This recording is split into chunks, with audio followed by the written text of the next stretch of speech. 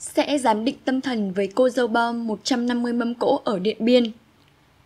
Đại tá Tráng A Tủa, Giám đốc Công an tỉnh Điện Biên cho biết, đơn vị đã làm rõ việc Cả Thị Út, sinh năm 1996, ở xã Pá Khoang, thành phố Điện Biên Phủ, tỉnh Điện Biên, đặt 150 mâm cỗ cưới của nhà hàng Tâm Phúc rồi hủy bỏ không rõ lý do. Không chỉ lừa nhà hàng làm 150 mâm cỗ cưới, cả thị út còn bùng tiền 7 mâm cỗ ăn trước đó và hơn 30 triệu tiền gà sống, giò. Cô này bản chất, mục đích là lừa đảo chiếm đoạt tài sản. Trước mắt xác định cả thị út không có vấn đề gì sức khỏe, đại tá Tủa nói. Tuy nhiên, các cơ quan tố tụng sẽ trưng cầu giá trị tài sản và giám định tinh thần đối với cả thị út để làm căn cứ xử lý. Trước đây, cả thị út là sinh viên trường đại học sư phạm Hà Nội, tốt nghiệp chuyên ngành sư phạm mầm non năm 2018, hiện vẫn chưa có việc làm. Tại địa phương, Út chưa có tiền án tiền sự nào, cũng chưa gây ra chuyện gì đáng lưu ý. Bố mẹ Út là người dân tộc Thái, kinh tế rất khó khăn. Người chị cả của Út cho biết họ không biết gì về chuyện này. Theo người chị này, Út là con thứ 9 trong gia đình có 9 anh chị em. Chị là chị cả, bố mẹ đã ngoài 80 tuổi. Do từ nhỏ Út sống cùng chị nên cô gái này vẫn thường xuyên gọi chị bằng mẹ thay vì gọi bằng chị. Út nói chưa có người yêu, còn đi làm, sao lấy chồng được.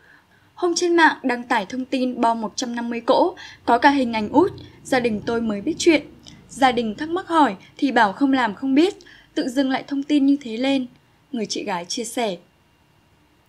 Phía gia đình út cũng nắm được thông tin con gái bị công an mời về trụ sở làm việc. Theo người thân, út đi làm từ lâu nhưng thi thoảng người nhà vẫn gửi tiền cho em gái. Gia đình cũng không nắm được cô gái này làm công việc gì, lâu cũng không về nhà. Thi thoảng bạn gọi cho bố mẹ bảo gửi tiền cho út gặp không cho gặp. Nói út bị bệnh, bảo đi khám bệnh ở Hà Nội, gia đình cũng vất vả nhiều. Người chị chia sẻ.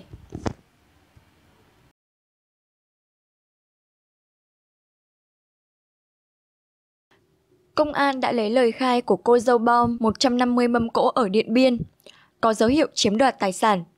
Sáng nay mùng 3 tháng 10, Công an tỉnh Điện Biên cho biết đã có thông tin bước đầu về vụ việc hy hữu một nhà hàng trên địa bàn bỏ bom 150 mâm cỗ cưới, gây xôn xao dư luận. Theo Công an thành phố Điện Biên Phủ, ngay sau khi nhận được đơn tố giác tội phạm của anh Vũ Thế Long, chủ nhà hàng Tâm Phúc có địa chỉ số 29, tổ 9, phường Mường Thanh, thành phố Điện Biên Phủ, tỉnh Điện Biên về việc khoảng giữa tháng 9 năm 2020, chị Cà Thị Út, sinh năm 1996, ngụ tại bản Co Thón, xã Pá Khoang, thành phố Điện Biên Phủ, có đến nhà hàng đặt 150 mâm cỗ cưới và ăn tại nhà hàng của anh vào trưa ngày 30 tháng 9. Sau khi nhà hàng chuẩn bị phong, dạp và 150 mâm cỗ, nhưng đám cưới không diễn ra và không có ai đến dự, gây thiệt hại lớn về kinh tế cho nhà hàng. Công an thành phố Điện Biên Phủ đã nhanh chóng xác minh thông tin và triệu tập chị Cả Thị Út lên làm rõ vụ việc. Qua đấu tranh, chị cà Thị Út khai nhận do thường xuyên qua lại quán Tâm Phúc ăn nhậu nên quen biết anh Vũ Thế Long, chủ nhà hàng. Để đánh bóng, Út khoe là đang công tác tại một cơ quan nhà nước trên địa bàn.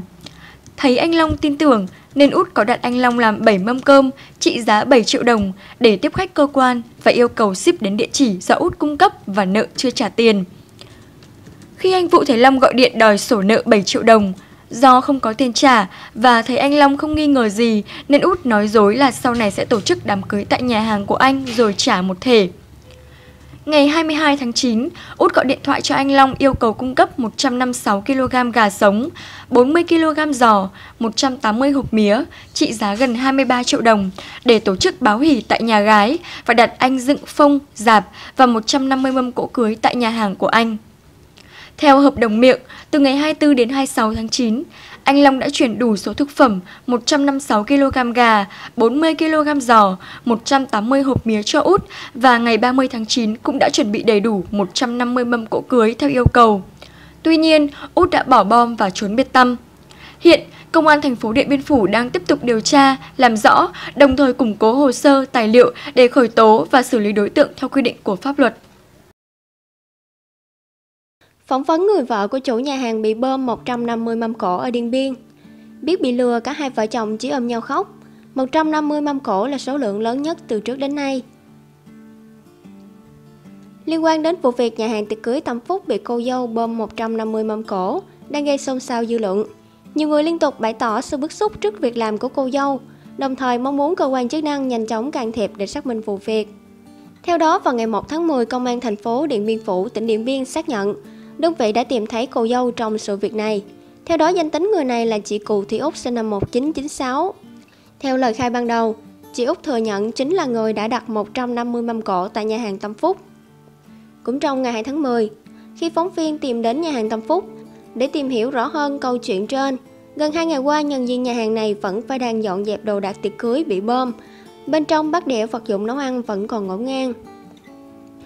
Vợ của chủ nhà hàng bế con gái vào lòng, đưa mắt nhìn xung quanh nhà hàng mình. Chị Tuyết không giấu được nỗi buồn, sự thất vọng. Từ hôm xảy ra vụ việc đến nay, vợ chồng chị phải chạy khắp nơi để lo việc, vừa phải xử lý số lượng cổ thừa, rồi đồ dùng cổ để trả cho đơn vị mà mình đã mượn. Theo lời chị Tuyết, vào chiều qua, Công an thành phố Điện Biên Phủ đã gọi điện thông báo cho gia đình, đã tìm thấy và đưa cô dâu bơm lễ cưới về trụ sở công an làm việc. Sáng nay, chồng chị và nhân viên nhà hàng cũng đã được công an triệu tập lên trụ sở công an. Nhớ lại vụ việc chị Tuyết kể, chị Út là người quen của gia đình, thường xuyên đến nhà hàng ăn uống. Trước đây người này trả tiền mỗi lần đến ăn rất đầy đủ, nên gia đình chị có chút lòng tin. Hơn một tuần trước, người này gọi điện cho gia đình bảo chị sắp lấy chồng nên nhờ đặt cổ cưới. Cô ấy bảo ngày 30 tháng 9 sẽ lấy chồng, nên nhờ gia đình tôi chuẩn bị cổ cưới, bảo làm 150 mâm cổ. Gia đình tôi thấy cô này có chút tin tưởng nên nhận lời, sau đó bảo cô ấy đặt cọc cho gia đình.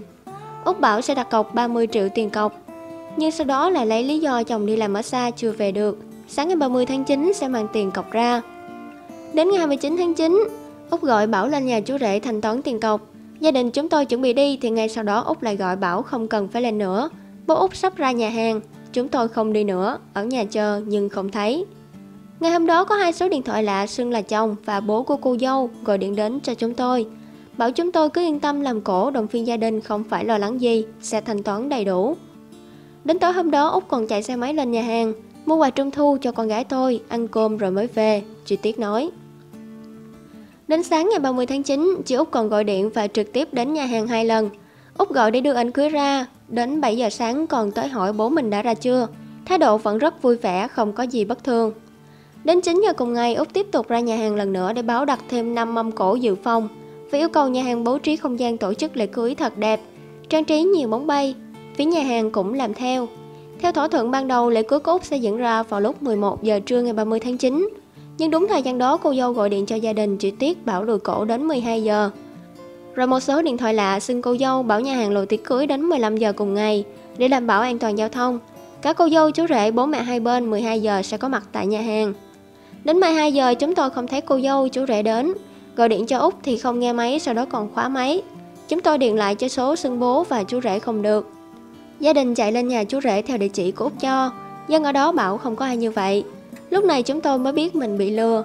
Cả hai vợ chồng ôm nhau khóc, tâm trạng lúc đó không biết phải diễn tả như thế nào. Chúng tôi rất thất vọng.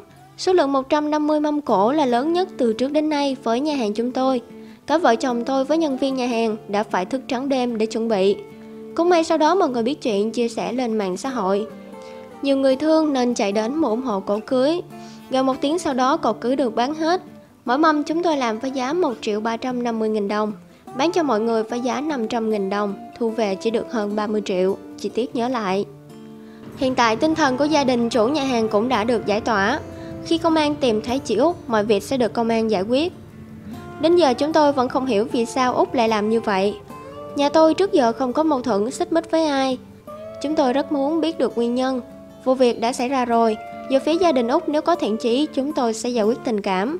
Còn nếu không được chúng tôi sẽ làm đơn yêu cầu khởi tố. Đây là bài học lớn cho gia đình chúng tôi. Thực sự làm nghề hơn 10 năm nay đây là lần đầu chúng tôi bị như vậy. Không ai có thể ngờ được. Chị Tuyết, vợ của chủ nhà hàng Tâm Phúc, chia sẻ. Cảm ơn các bạn đã theo dõi. Các bạn đừng quên ấn like, share và để lại bình luận của mình. Xin chào và hẹn gặp lại trong những video tiếp theo.